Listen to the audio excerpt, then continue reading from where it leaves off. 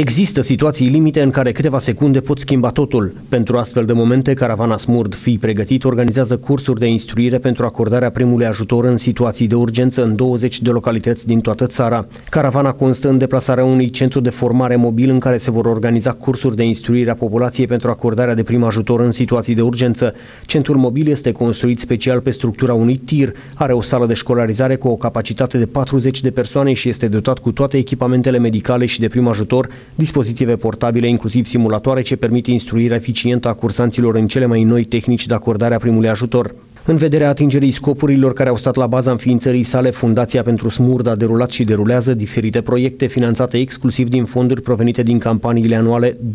pentru Smurd și din donații și sponsorizări ale unor companii care își desfășoară activitatea în România. Proiectele Fundației pentru Smurd, de la începutul campaniei 2% în